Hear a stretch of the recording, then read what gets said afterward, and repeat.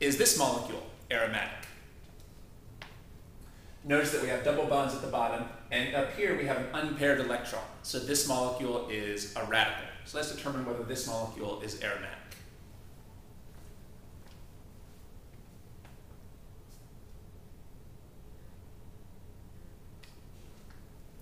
Let's count the pi electrons. Two pi electrons in this pi bond, two pi electrons in this pi bond. And what is the top carbon doing with its p orbital?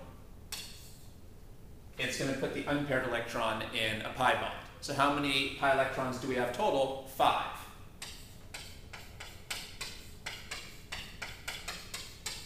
Five pi electrons. So clearly the molecule is not aromatic. Now the number five is not in this list either. So actually, um, I don't think this would be considered an anti-aromatic compound either. I think this would be considered a non-aromatic compound. I'm not 100% sure about that, but I think this molecule would be considered non-aromatic. Now, of course, it's not going to be very stable because it has a radical.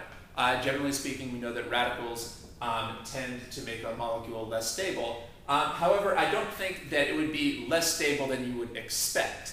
Uh, remember that anti-aromatic doesn't just mean low, uh, low, stability in general. It means that the molecule has even less stability than you would otherwise expect. Well, we wouldn't expect this molecule to be, to be too stable in the first place because it's a radical, um, but I don't think it's going to have even less stability than you would expect. Maybe we should just call it uh, non-aromatic. Actually, this molecule would probably be a little bit more stable than you would expect because there's a bunch of resonance forms that help to stabilize uh, the unpaired electron over here. All right, in any case, the molecule definitely does not fall into the aromatic category. This molecule definitely does not fall into the aromatic uh, category. It definitely would not be a lot more stable than we would generally expect.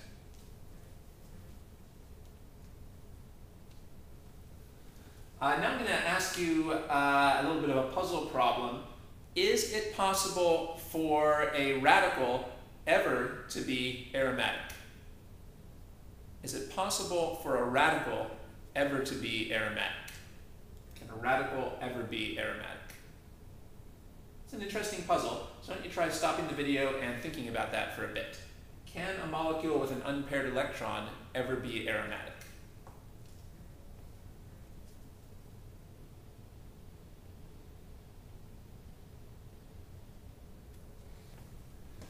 Okay, I hope you gave that brain teaser uh, some thought. Uh, and there is a way for a radical to be aromatic with a single unpaired electron.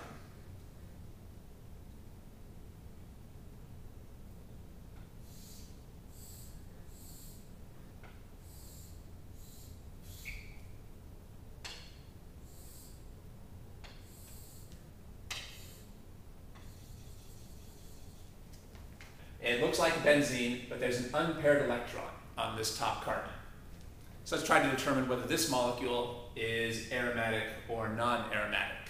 Give that a shot.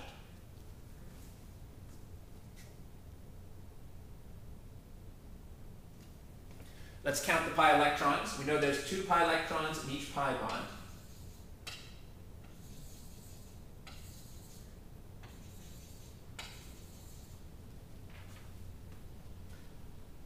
How about this carbon at the top?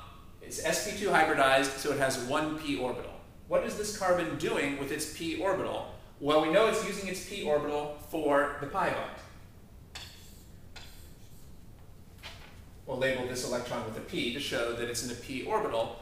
Therefore, the unpaired electron cannot be in a p orbital because the p orbital has already been used up. This carbon must be using one of its sp2 orbitals for the unpaired electron. And therefore, the unpaired electron is not a pi electron. The unpaired electron is not a pi electron. So how many electrons are there total? Six, an even number. Six pi electrons, which puts us in this list, the compound is aromatic.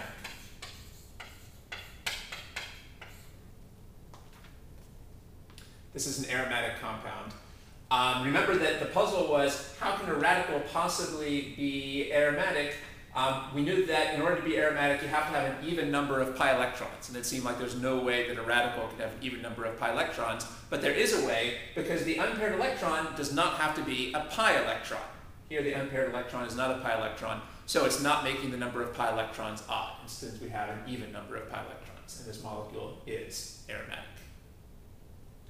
Uh, by the way, of course, because this does have an unpaired electron, um, it's not going to be the most stable compound in the world. It's going to be somewhat unstable because of the unpaired electron. But remember that aromatic just means a lot more stable than you would otherwise expect. Well, this molecule would be a lot more stable than we would otherwise expect a radical to be.